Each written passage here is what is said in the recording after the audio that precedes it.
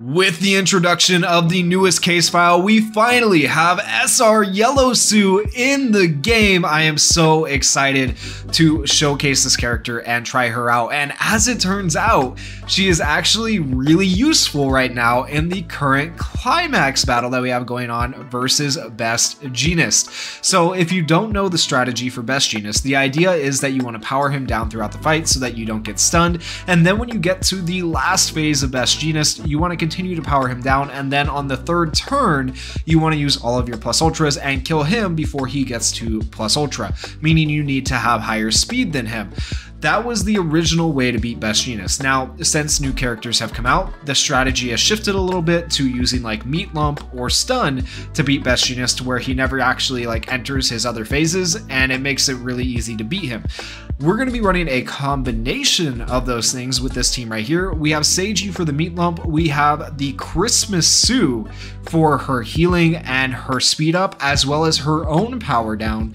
And then we have the new SR Tsu for her power down on her Plus Ultra. Let's go ahead and take a look at what SR Tsu can do with her skills. It's actually really, really solid for an SR character. Her plus ultra move is called Froppy Kick. It deals 500% damage to a single opponent, decreases the opponent's power by 25% for three turns. That is really, really important because that's going to help us keep from getting stunned by All For One as we go throughout this fight. Next up, we have her alpha skill, Froppy Spear which deals 275% damage to a single opponent, also decreases the opponent's skill impact by 25% for three turns, giving us even more survivability by decreasing that skill impact. That's actually solid as well, especially when you're taking on Climax Battle. Next up, we have Decision Making Skills cancels one status element of all allies, heaven forbid one of them gets stunned, right? That's really nice. Also gives character the ability to hide for three turns, which is even better because that means now All For One has to either target Seiji, who's going to have the status element counter to Meat Lump All For One, or Tsu, who has pretty good defense and that is a cooldown time of 4 and 3 on those action skills, which is really, really solid. And then for her first auto skill, a Frog Specialties increases character's power by 30% when hiding, so she gets even stronger when she hides. Also, once per battle, regenerates character's HP by 10% for 3 turns when HP is below 50% if she ever drops to 50% HP, which is insanely good for an SR character. This is one of the best like free to play SR characters in my opinion. Really insane kit. Second auto skill, Splendid Tact increases plus ultra gauge of all mind type allies by 20% when battle starts. So in this case, she'll only increase her own plus ultra gauge, but that's still good. Also, once per battle, increases characters plus ultra gauge by 25% when HP is below 50%. All around, a very, very, very solid and good kit for Tsu. As you can see, I have her advanced leveling completely done up to like the first tier before you DX her. I do have to do the DX advanced leveling. I don't know if I'm going to do that because it costs a lot of resources and I'd rather put that into UR characters. But then for her ability board, I'll show you guys where I'm at. I got the first unlock level limit on the DX route and then the peace route is completely done and for the basic route, we are on board 11. So she's not even as strong as she's going to get. Now, she's not going to do the most damage, I will say that outright, but she is mainly there for the power down and the skill impact down, which is going to be super, super helpful. So, with all of that said, let's get into double S difficulty of the Best Jeanist Climax Battle. Best Jeanist has 1,414,500 health. He has four phases in total. We are going to start with our power down from Christmas Tsu since we do have to wait until turn three to use SR Tsu's power down. So this right here is going to uh, decrease the opponent's power by 20% for four turns, giving us plenty of turns to make it to SR Tsu's turn to do her power down. Then we're going to go ahead and we're going to do Seiji's Meat Lump, maybe try to meat lump him here. And then we're going to go ahead and we're actually going to hide as uh, Tsu, making him hopefully target Seiji here in the upcoming turns.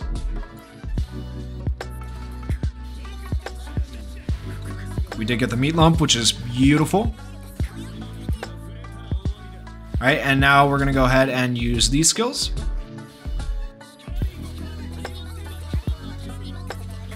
And that was 15,000 damage from an SR character. It doesn't look like a ton, but it's actually pretty decent.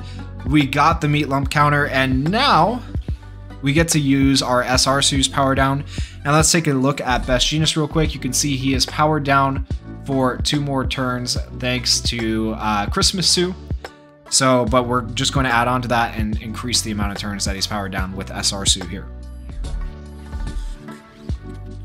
52,000 from Seiji, insane damage. And then now he's in the next phase, so we'll do no damage right here, but that's fine. Alright, and we get the phase shift. He is still meat lumped. It's kind of funny. Uh, now, one disadvantage, right, is the cooldown times, but he's meat lumped, so we're okay. Alright, and now we're to go ahead and take a look here at where we are at for power down. So he's still powered down for this turn, which is nice, right? We got that going for us thanks to our SR Tsu. And then we're going to be able to power him down again with Christmas Tsu. And we just repeat really, really good. A lot of this does rely on meat lump though, so uh, it's kind of a risky strategy. All right, power down. Did not get the meat lump that time, but Arsu, our SR Tsu is able to hide, so he has to target one of those two. Okay, he decided to target Tsu all the way around right there. Hopefully this time he'll target Seiji. And Seiji will get the counter right. Uh, about 15,000 damage again from SR Tsu. There we go, we got the counter, beautiful. I'm telling you guys, that hiding is like way better than you think it is. Alright, so once again, we're to be able to decrease his power with SR Tsu here. 54,000. We'll get to see how much damage she does now. 34,000 from the UR.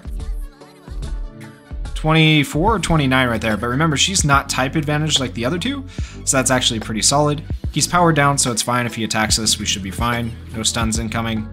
We did. He did land his first attack on our SR Tsu this entire battle, but she's about to hide again. All right, we'll power him down again with Christmas Tsu. And hide our SR Tsu. All right, and then we're gonna go ahead and do our healing and our counter. There we go. That's some good damage. We finally landed a crit with SR Tsu. That was actually really, really good damage. We did not get either of the status element counters there. Oof. Now, this is a little bit more rough in terms of damage and getting through this quickly with this team, but I think this team can get us there. We don't have to worry about power, like powering him down because he's pretty much always powered down. We don't have to worry about him stunning us because of that. So that is one advantage. 52,000 damage from her? That was really, really good. That was insanely good. Do we go into the next phase? Oh, even better. We're in the next phase now. This is good. This is really, really good. We have our skills back up. Let's go. Okay, we'll go ahead and hide. Power down. Beautiful. Alright, now we do our status element counter. Speed up on the team and regeneration. And he got meat lumped again. Love it. Okay, now we get all our plus ultras. Let's see if we can hit some crits. 28,000, no crit, but we got the meat lump, so he's meat lump for another turn. 60,000, that's really good. 30,000 without a crit. Not bad. Honestly, for an SR character, I am kind of impressed with her damage. Free to play SR character who is not fully up to board 13. Actually, really solid. Alright, let's see if we can meat lump again. Ooh, we got it. And the power down. And the hide. Beautiful. Okay, now we're at the point where uh, my skills on Tsu are starting to wear off, and this is where it gets a little bit dangerous, right? We should be able to just use these two here, though, to get us all up to plus ultra, but I had an action skill cooldown time memory on Christmas Tsu, and so now we're not able to do a full skill check because we've reached our limit there.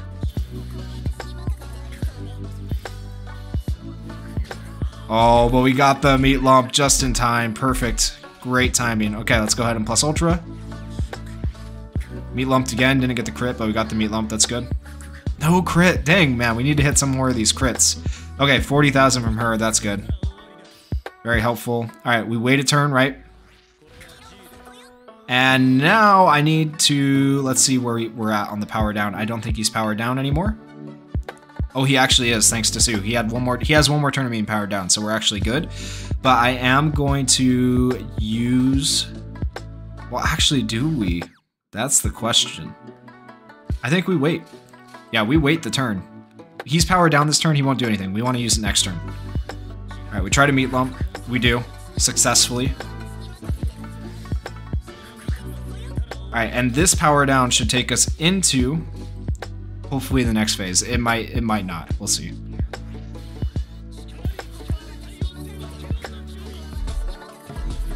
Alright, we're so close to the next phase. Do we enter it though?